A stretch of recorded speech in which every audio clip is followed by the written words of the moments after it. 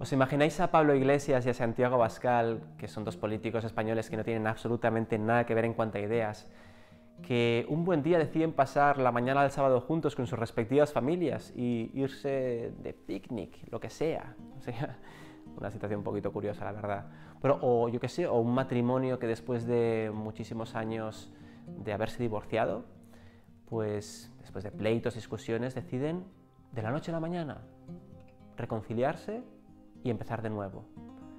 Esto ha pasado, por cierto, ¿eh? esto es posible. Bueno, pues de eso va la primera lectura del día de hoy del profeta Isaías, que por cierto es el profeta que más le gusta hablar de un futuro rey libertador, un futuro Mesías, que liberará al pueblo de la esclavitud.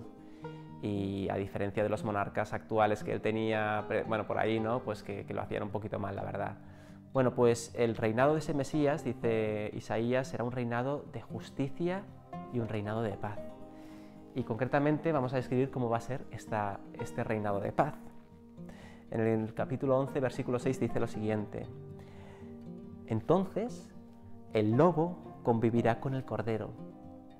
Normalmente un lobo cuando ve a un cordero se lo come aunque no tenga hambre. Vamos.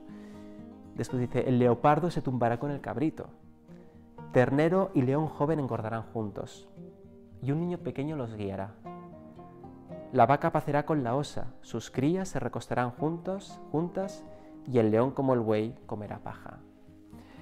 Qué tierno, ¿verdad? Qué, orden, qué, qué, happy.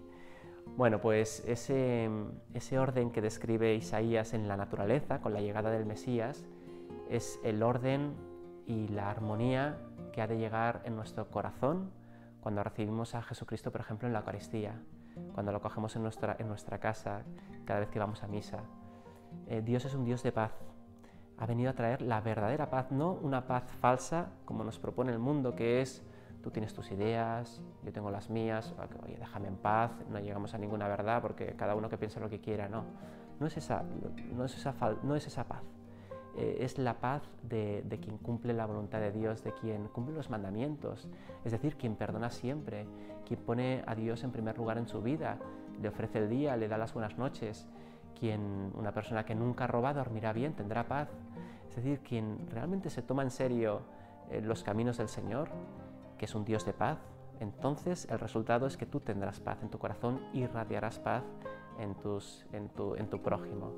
Bueno, pues vamos a pedirle al Señor en este tiempo de Adviento que ese corazón que tiene tanta guerra, porque tenemos guerra a nuestro alrededor, es verdad, pues que se irradie de la verdadera paz, eh, la única que puede sanar ese corazón herido.